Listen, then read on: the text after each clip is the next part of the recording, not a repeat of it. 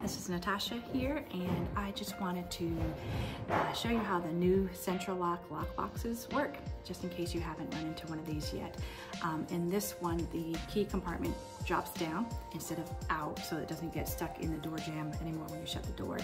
Um, if for somebody, some reason somebody puts a key in there with a key fob and it's too big in there, it might get jammed up a little bit. So they have a little tab on the bottom.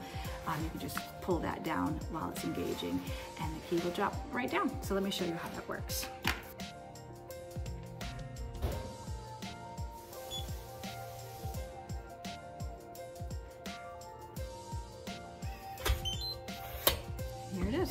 Key will be right in this compartment.